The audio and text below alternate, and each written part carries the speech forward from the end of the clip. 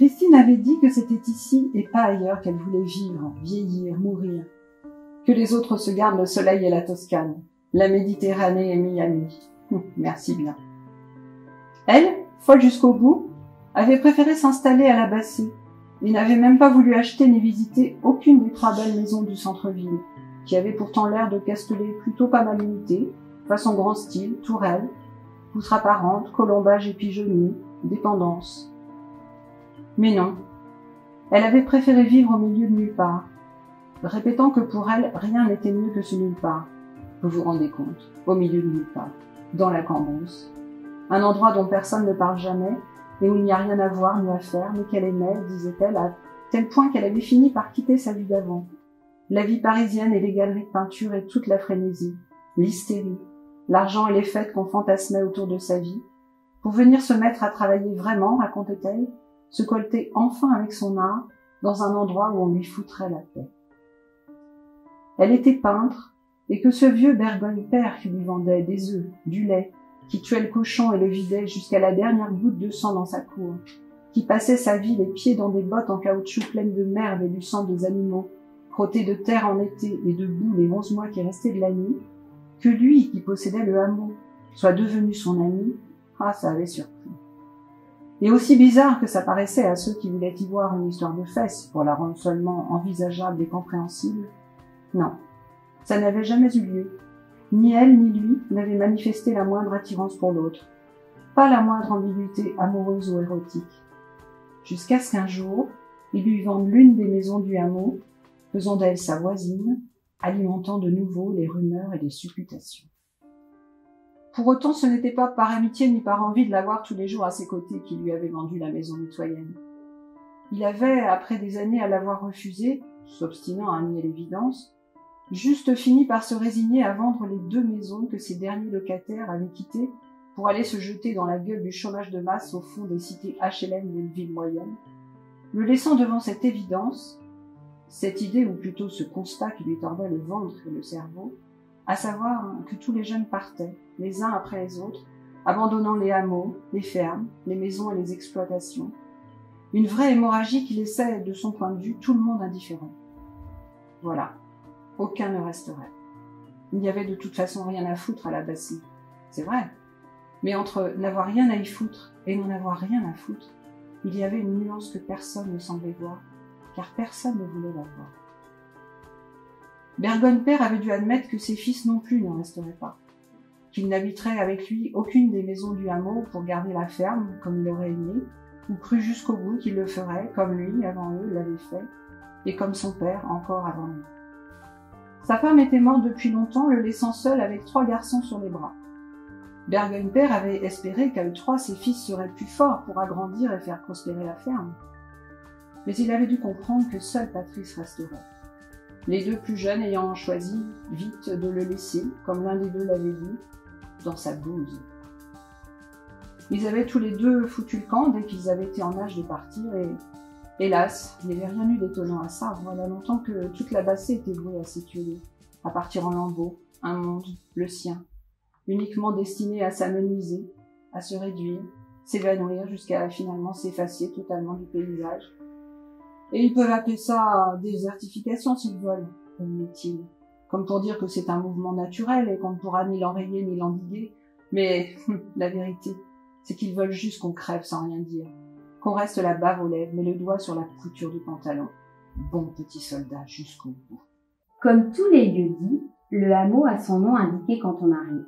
Un écriteau, tout en longueur, des lettres blanches en italique sur un fond noir, comme un bandeau portant le deuil d'une histoire sinistre ou comme peut-être le générique d'un film qui n'a pas été tourné, avec son titre plus ou moins prometteur, un programme, une histoire, sauf que personne ne se souvient de l'avoir lu ou écrit, ni d'avoir jamais rien su de son origine, comme si ça n'avait pas eu de début et que c'était là depuis toujours. L'écart de trois fils Surnageant au-dessus du temps grâce à un panneau légèrement incliné au bord du fossé, le pied figé dans un bloc de ciment couvert de moisissures et retenu par une pierre que quelqu'un aurait posée là un pour retenir le panneau à cet endroit où la route boutronnée laisse la place au chemin caillouteux. Personne ne s'y arrête, ne le lit. Le panneau pourrait disparaître, que personne ne s'en apercevrait. Quand elle s'était installée ici, Christine était allée à la mairie pour avoir des renseignements sur ce nom. Elle a connu Ron, l'hôpital, les deux pendus, garde d'œil, la pierre blanche, ronce noire, le cheval blanc. Des noms aux consonances étranges, poétiques le plus souvent, dans lesquels résonne l'âpreté des temps anciens, qui remontent comme des odeurs de nuit et des souvenirs de fausses communes, avec leurs sorcières brûlées et leurs guerres de religion, leurs légendes invérifiables et tenaces de personnages et d'histoires, qui ont bien dû avoir leur temps de vérité pour qu'on finisse par engraver le nom quelque part dans le rêve. Christine avait cherché, elle avait appris qu'un écart c'est un amour, un lieu à l'écart, qu'il y avait déjà des habitations ici depuis longtemps, bien avant les Bergognes et les Trois Maisons. Mais elle n'avait rien appris sur les trois filles seules. Personne ne savait qui elles avaient pu être, ni ne semblait l'avoir jamais su. Et Christine avait pensé qu'autrefois, on avait dû peut-être regarder ces femmes comme il lui semblait parfois qu'on la regardait, avec suspicion et méfiance, se servant d'elle pour alimenter des ragots, comme on avait dû le faire à une époque autour de ces trois filles, qui n'existaient plus que dans le nom du hameau qui leur servait de tombeau, de mémorial, comme si, à force de s'être enfoncées dans l'oubli, le recherchant peut-être, elles avaient trouvé refuge dans le nom qu'on avait bien voulu leur conseiller. Il a tendu son bras, la main grande ouverte lui désignant le siège de Sky Noir qui n'est pas de première fraîcheur. Christine remarque les déchirures comme des peaux mortes et très fines, ou plutôt comme des cendres de papier journal qui volent au-dessus du feu de la cheminée. La main du gendarme épaisse et longue, des poils bruns et blancs mêlés, une alliance en argent, et pendant qu'elle sera en train de s'asseoir, alors qu'elle n'aura pas encore eu le temps de poser son dos contre le dossier ni ses fesses au fond du siège, le temps seulement d'esquisser le mouvement de s'asseoir sur le bord de sa chaise, de poser son sac à main sur ses genoux et de commencer à l'ouvrir, les doigts cherchant la fermeture éclair, le gendarme aura eu le temps de faire le tour de son bureau et de s'asseoir d'un mouvement ferme et résolu en calant bien ses fesses tout au fond, et sans s'en rendre compte, parce qu'il fait ce mouvement des dizaines de fois par jour, mécaniquement, aura d'un coup sec des talons rapproché le siège du bureau en allongeant les deux bras symétriquement, d'un geste saisissant les deux extrémités du bureau pour se tracter vers lui, hop, presque rien.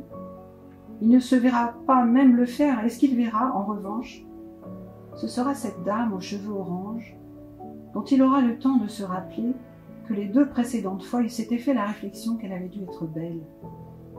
Le temps de remarquer comment ça lui saute aux yeux une nouvelle fois. Ah, elle avait dû être très belle.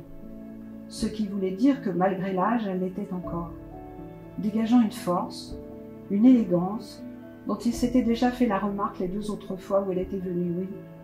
C'est rare de voir ça, une énergie pareille, quelque chose de si vif et d'intelligent dans le corps et dans les yeux.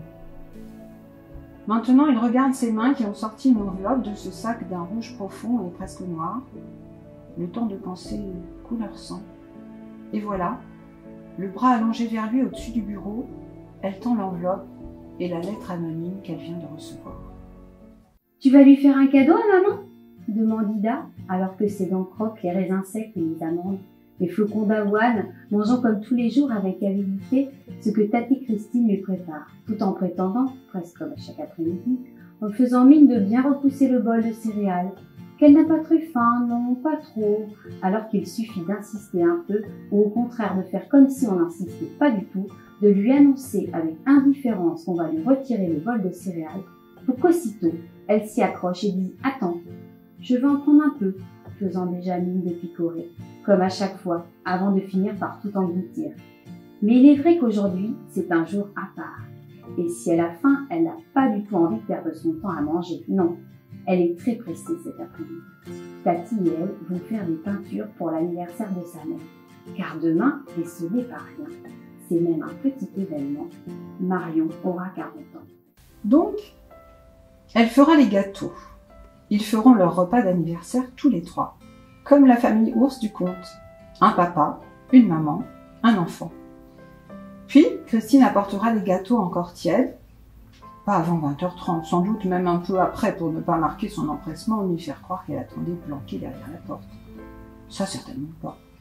Elle arrivera tranquillement après qu'ils auront dîné, en espérant que les deux collègues de Marion auront la même idée qu'elle, d'arriver avec un quart d'heure de retard pour ne pas montrer qu'elles sont pressées de débouler, capables de ne pas être envahissantes, c'est à voir.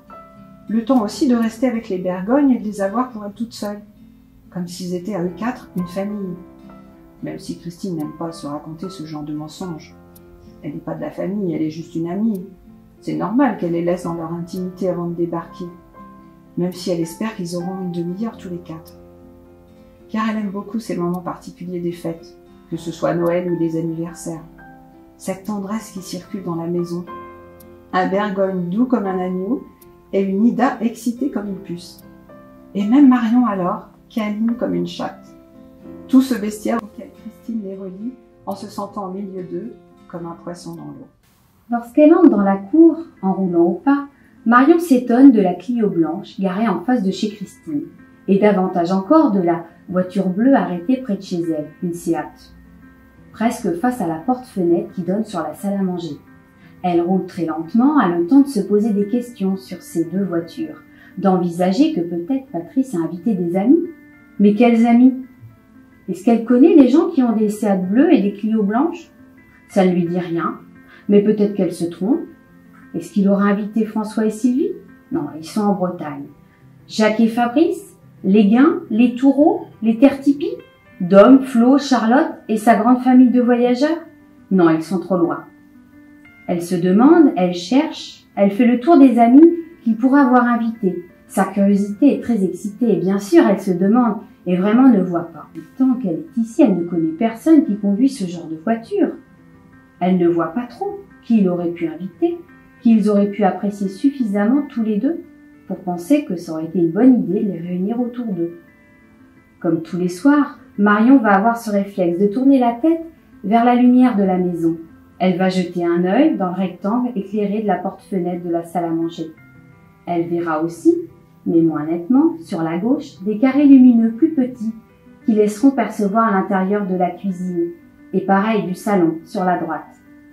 Mais ce soir, ce sera aussi pour essayer de voir qui peuvent être ces invités auxquels elle ne s'attendait pas, et juste le temps d'un coup d'œil à travers la porte-fenêtre de la salle à manger et la vitre passager de sa voiture, elle aperçoit bien deux silhouettes d'hommes, mais ça va trop vite pour qu'elle les identifie. Elle sort, cette fois sans perdre de temps avec aucun de ces retards qu'elle accumule habituellement.